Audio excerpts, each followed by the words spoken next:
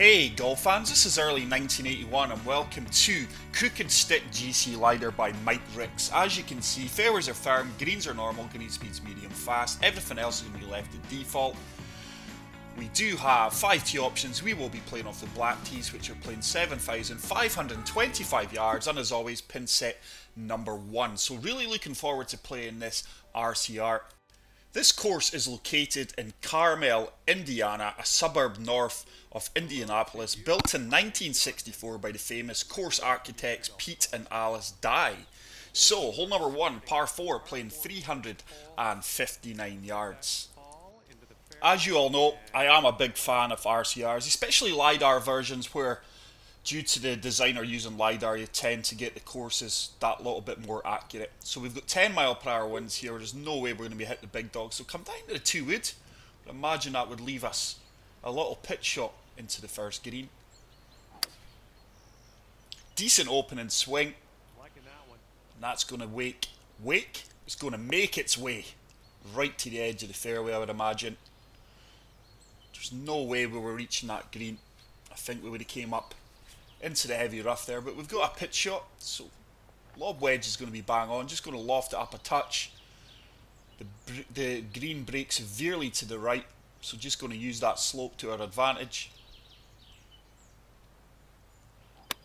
Great execution. That should bounce out. And then hopefully check up just like that. And that is going to set us up for an opening birdie putt. All right, nice little two-foot putt. Little two-footer which we do convert. And as always, it's great to start the round with a birdie. And we are going to moving on to hole number two, which is a par 4 playing 439 yards. So this course has hosted the PGA Championship in 1991, won by John Daly, and the US Women's Open in 1993, won by Lauri Merten. Also hosted the Solheim Cup matches in 2005, and back in 2012 it also hosted the BMW Championship won by Rory McIlroy.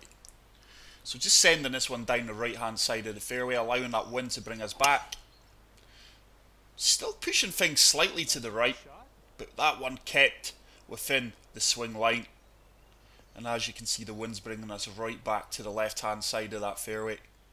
And looks like we have about 135 yards. So 133 yards, going to take off two yards, so it's playing 131 yards. Applying some fade here just to counteract this 11 mile per hour wind. Lofting it up as well. Let's see if we can get this one dialed in towards the flagstick. Oh, it's a beautiful execution. I tell you what, this looks all over this pin. It's long. How on earth is that long? I really expected that wind to hold me up. And that ball's travelled 142 yards. Once again, inconsistencies of the wind in this game rearing its ugly head. So we've got a putt, 27 feet. Greens are 166. Hopefully that should start to turn back. I tell you what, have we... Oh, it just floats by the left-hand edge of the cup. And we are going to pick up a par here from four feet, I would imagine. So really surprised at that wind. Amazed I got that distance with a, a lofted up pitch and wedge. But let's move on to hole number three, which is a par three, playing 200 yards. But this is a really nice looking course. Very natural, very simplistic, but look at that pin position with this green. That green breaks hard right. Going to come down to the 6 iron. Allow that wind to carry us. That green really breaks hard. Just going to apply a touch of D-loft here. See if we can get this running up towards the flagstick, but it's going to be so hard to hit this green. It's a great execution. I would imagine this may run off the side of the green actually. Just comes up a little bit short. That uphill slope killed the momentum of the ball, but it does sit and stay on the green. We are going to have a putt. Difficult putt from 24 feet out.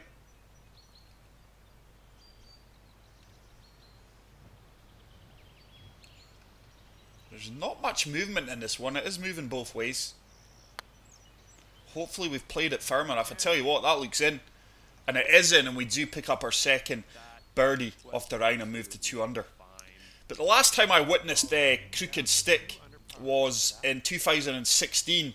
Once again, it was the BMW Championship, and I think it was Dustin Johnson won with the record breaking score of minus 23. But for many years, this course has been noted as one of the top 100 courses in the US by Golfweek and Golf Magazine. And hole number four is a par 4 playing 480 yards.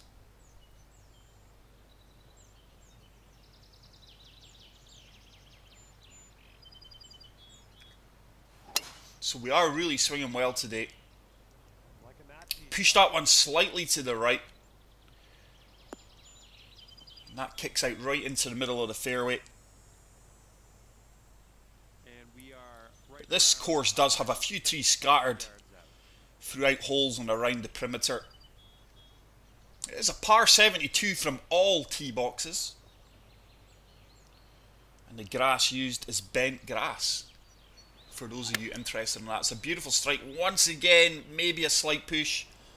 That's going to come up short. Wow. All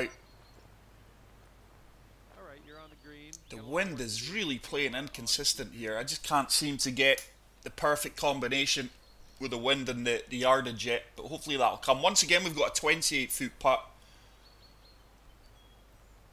One foot uphill. There is a fair bit of movement to this one.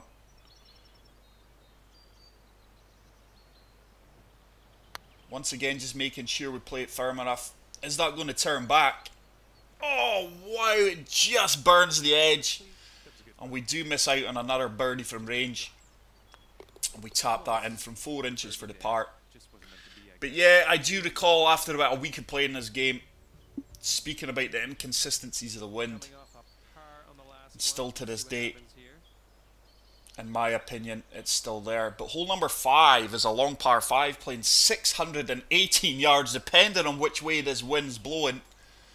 We may struggle to believe in ourselves a simple layup shot here. There's no way we're reaching this in two. But once again, it's a beautiful looking hole. That wind's going to move us to the left. 12 mile per hour wind. So just setting us down the right hand side. Put a fast in it, but it's going to work out in our favour. We did push that one right as well. Something that has really creeped into my game.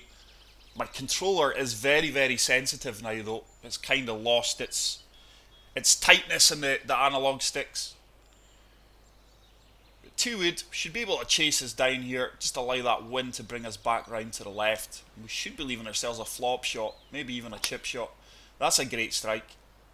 Pure strike there. This may even kick on depending on what kind of kick we get. No, it kicked to the right. So we are going to have a little flop or a chip shot. Hopefully we can get that close. It is going to be a chip shot, so we're really going to play this aggressive. Certainly don't want to miss this too far left or that ball will go way down the slope. We put a slow on it. Maybe just a bit too aggressive there. And if this drops, you get your birdie here. Certainly no gimme from four feet. But we read it well and we do pick up another birdie and we move to three under par. So solid start to this round, but really enjoying this course from. Mike Ricks. It's another designer who we've never come across previously, but what a beautiful hole this hole here is. Number six, playing 201 yards, par three. Water is in play on the right hand side, and with that wind, we're going to club down to the six iron. Just going to once again apply some fade here to counteract that wind. Just going to deal off this a few touches. The wind going by previous holes shouldn't hold this ball up distance wise. It's a great execution. This could be decent. This could be really decent. And I tell you something, this has got a chance of dropping for the ace. What a fantastic shot that is, and hopefully we can pick up a birdie. I think it's been about five, six, seven weeks since I've had a, a hole in one. We do drop that for another birdie, and we do move to four under par. But there's so many talented designers out there now, guys, that seven times out of ten, whatever course you go and play, it's a fantastic course that's near enough five stars. But hole number seven, par four, playing 450 yards. But I do really enjoy these natural, simple looking courses that play like RCRs. Obviously, this one is an RCR, but you can tell it's been well designed with the help of LiDAR.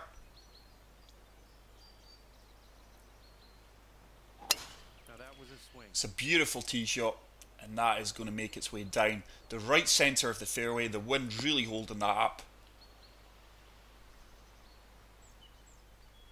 It's going to be a long second shot into this green with this wind.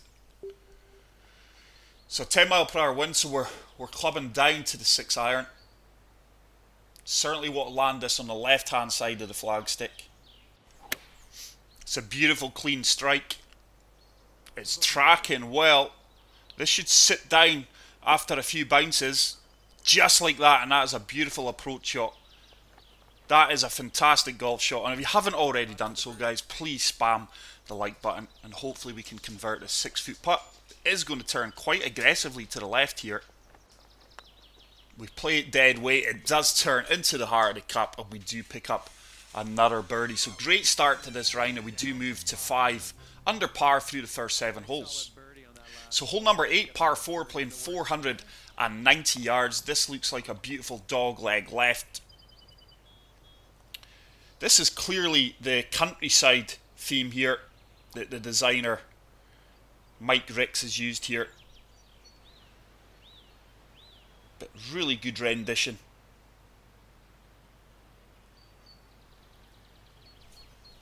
Of the Crooked Stick GC so far. Oh, I've pushed that right once again, so we're going to be more on the right hand side of the fairway here. I really wanted to be more towards the, the water side of the fairway. So we are going to have a longer approach shot into this green now. It's 163 yards. It's playing 162. Once again, just going to have to apply a touch of fade here just to counteract this 10 mile per hour wind. Just deal de-lofting this also. It's a beautiful clean strike. I tell you something, this should be tracking right at it. It's going to run out a few feet past the pin, probably about 7 to 9 feet past, but we do have another birdie opportunity here, 10 feet. This is a downhill putt from 10 feet. Breaking both ways here. Certainly breaking more to the right. If that holds its line, it's in and it does drop for another birdie and we do move to 6 under par. So, final hole of the front nine is a par 5 playing 533 yards. This is a fantastic looking course, guys. I keep saying it. Very simple, very natural. And it plays so, so well. I just want to take this opportunity to thank the, the three or four people who have supported the channel via PayPal and bought me a coffee. Thank you so much. It's truly appreciated. Obviously, I won't actually buy a coffee, but all funds donated will go into the channel to making this a better channel for you guys viewing pleasure. So thank you so much. It's a good swing. We should find the right centre of the fairway here. Don't want to go too far to the right or that tree could totally obscure your line of sight into this green. We've played that well. I think we can play this too. We're just going to loft it up. This 11 mile per hour wind should really hold us up. We may just trickle through the back of the green here.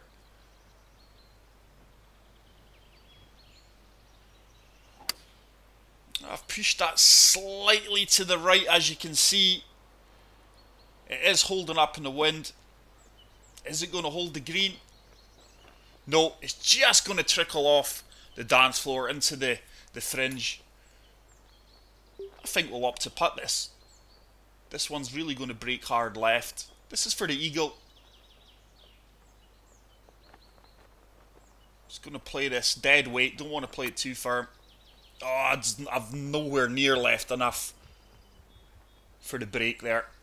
Didn't compensate enough for the break. But we are going to pick up a simple birdie from two feet. And we do move to seven under through the front nine. Solid round. Really enjoyed that front nine there. Absolute fantastic first nine holes of crooked stick. So hole number 10, par 4, playing 457 yards. This really is a fantastic looking course, guys. It is so clean. The layout is fantastic. The writing's good. The planting is really, really good as well. The designer clearly knows his way around the designer program.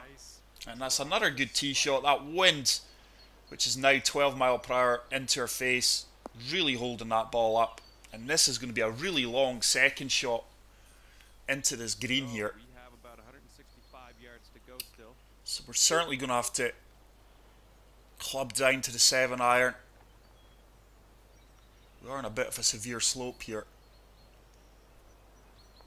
Look at that false front on the green. Want to make sure we get past that. That ball come all the way off the green if not. Oh, it's a beautiful strike. Really clean strike. The wind not holding me up as much as I expected. But we are on the dance floor. 11 foot putt, down 2 inches. One thing here is the greens are a severe challenge on some of the holes. You're going to have putts that are going to ask a lot of your green reading abilities. Just playing as dead weight here. Is that going to turn? Is that going to turn? It does turn. It's a fantastic putt. That is a really well read putt, executed to perfection. And we do pick up a birdie and move to 8 under par. Hole number 11, par 5, playing 539 yards. But there is a few courses that I will be playing in the next coming days that a few of you guys have requested on the channel. I do try and source the best courses for you guys to go out there and play. And hopefully you guys do enjoy watching me playing them as well. So this time the wind's in our favour. That mine should kick to the left. Oh, that's going to go a little bit to the right. See that swing line there where I'm pushing it to the right outside the swing line slightly at the bottom of the swing. That really punishes you. That really pushes your ball to the right. Something I've got to try and correct. Certainly coming down to the 5 hybrids here. It's an uphill green. Just lofting this up a touch. Oh, I've pulled that left. There you go. I was trying to compensate and not do the push right. And I've went too far left. But it should just hold the green, I would imagine. No, it doesn't. It trickles into the light rough. Heavy rough it is. So we are going to have a chip shot from 9 yards. Once again, we can attack this. I'm going to be playing this aggressive. We're going for the chipping. This would be an eagle. Go on. Turn, turn, turn. Oh, it was a good effort. And we are going to be rewarded with a little tap in birdie. And that's going to put us to 9 under for the round. So a great start to the back nine. Two consecutive birdies. And we do move on to hole number 12, which is a par 4, played 426 yards. This one's a dog leg right. So plenty of detail has clearly went into this course. I really like the cart paths.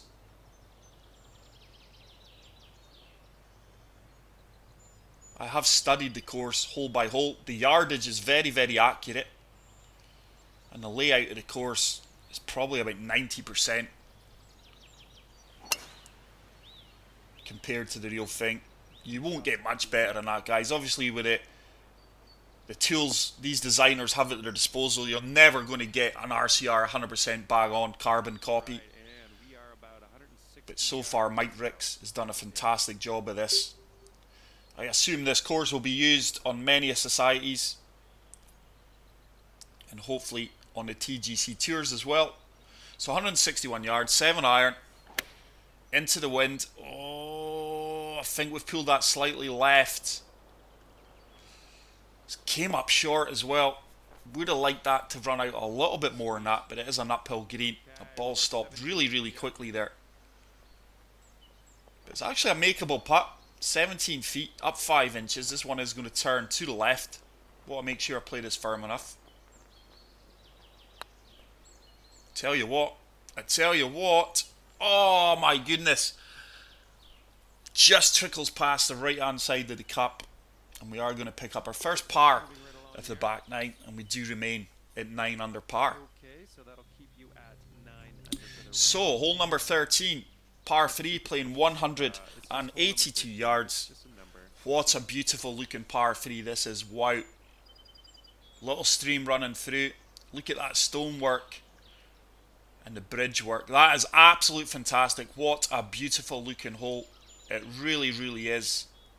And I am so impressed with this crooked stick GC LiDAR. That 12 mile per hour wind is really going to turn us to the left here. Five irons, bang on. It's got to be the club. Tell you what, depends how quickly this sits down. This could be a great shot. It's just going to run on. It's quite a tough pin location, that, Oops, sorry about that. the way the green's designed. So a chip shot from six yards. It's not had much success with the chip shots to date. Can't recall my last chip in. It must be about four or five rounds ago. No, push that one slightly to the right. And with that, Little five footer. we are going to have a five foot putt for the par. Solid putt right into the heart of the cup. And that'll keep you at nine under for the round. And we are going to stay at 9 under par. And now we find ourselves on hole number 14. So, hole number 14 is a long par 4 playing 496 yards. Once again, water and played through the, the little stream. And this one is a dog leg left. But this is a really nice course, guys. I'm sure you will agree with me. Hope you guys are having as much fun watching this video as I am playing this course. So we're going to have to play touch and draw here just to counteract that wind and hopefully we can hold the fairway. Solid swing. But this course was remastered in 2008 by Pete Dye. We just run into the, the first cut there. Who did design the course in 1967.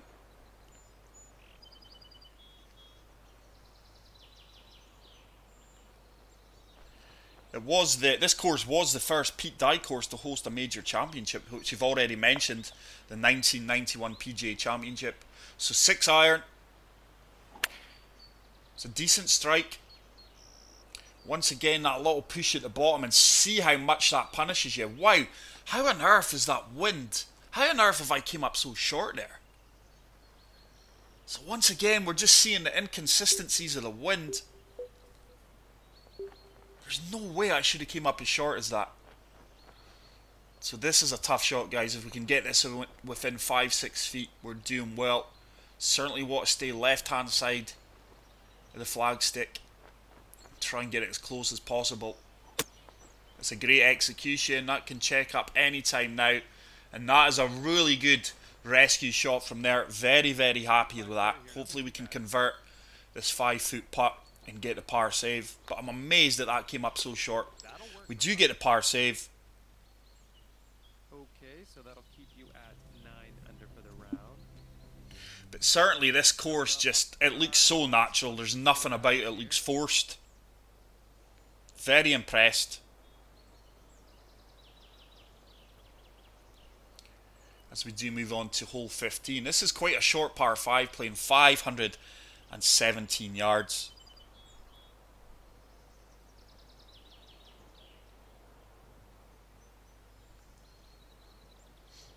With that wind, we're just setting us down the left hand side, allowing the wind to take us back round to the right. It's a decent swing. That wind really coming into effect.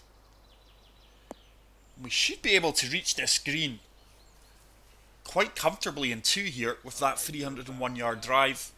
210 yards out. 210 yards, wind. Oh, look at this, guys. Look at the slopes in this green.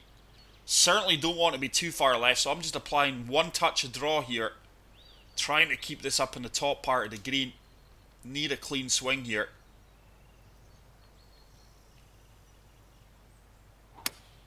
Oh, I've put a fast. That's going to go left and long now. That's got potentially to work its way all off the green here if it finds that slope. Yeah, just like that. Ah, just the tempo absolute killing me there. And we do have a a tricky chip shot once again. I can't risk flopping that. We are going to have to chip this and use that green to take it all the way back down towards the cup. This is a tough shot coming up. Good execution. It turns well. It can check up anytime now, and I'm actually really happy with that effort. Probably about a five to six foot putt for birdie. Four foot. Very, very happy with that effort. And we do convert the birdie. So we're having a solid round. Sitting at 10 under now for the round. We are 10 under. 7 under in the front 9. 3 under currently on the back 9. Last hole, let's see And hole 16, par 4, playing 471 yards. But what a fantastic course this is. Very, very impressed. This is a beautiful looking hole. That little pond or lake in play on the right hand side. Many a golf ball have went in there during rounds of golf here. So 9 mile per hour, 10 mile per hour wind, it's just picked up. Setting us down the right hand side. Wind should bring us back into the, the centre of the fairway here. That should really run on along this fairway. It's another drive. It's way past 300 yards. 329 yards to be exact. Looks like, I'd say 160 yards or so out. It's 158 down 9. So it's playing 155. That wind's going to take us round. Really going to have to loft this up here. So it's almost a fully lofted 8 iron.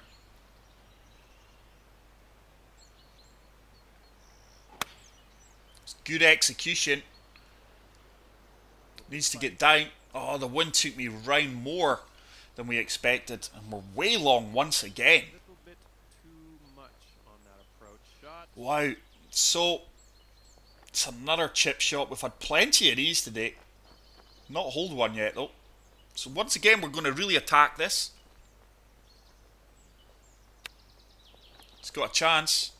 Oh, you're not going to get much closer than that without a drop in. Let's see if we can So unlucky not to, to drop for the birdie. But we do convert a two foot putt for the par, and we will remain at 10 under par. Okay, so that'll keep you at So, two holes left to play. If this fantastic RCR, hole number 17, par 3, playing 214 yards. The par 3s are absolutely spectacular here at Crooked Stick. It really, really is spectacular. Winds really died down. Probably about the first time in the round we've had single figure wins. So I'm coming down to the six iron here, looking to kick this on from the fairway. Just de-loft in this six iron so we get some good runoff on it. And hopefully it can run up towards the pin. Oh, I've pushed that right. There's that swing again, and look how far right that goes. It is unbelievable. We don't get a favourable kick. And once again, it's going to be another chip shot. We are getting lots of practice with our chip shots from in and around the green. This one's quite tricky though. 76 to 83. It's going to kick hard left. Tell you what, could potentially be looking at a first drop shot of the round here. That was a horrible execution. Here. 11 foot putt. It's turning to the right. Going to play this quite firm. And it does drop into the heart of the cup, and we do save the par there after that atrocious tee shot and chip shot. But let's step on to the 18th final hole 18. of this truly magnificent course. Is a par 4 playing 452 yards, and what a spectacular finishing hole this is. Slight dog leg right. Water is in play down the right hand side. Bunker's well positioned to protect the green and look at the slope off in the green there as well with that pin position. We could well be looking to use that to our advantage.